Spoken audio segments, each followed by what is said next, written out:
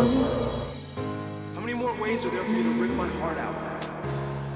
I was wondering I if after all these years you'd like to meet to sorry go about all of it.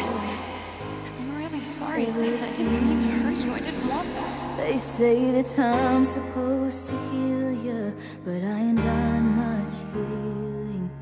Hello, can you hear me?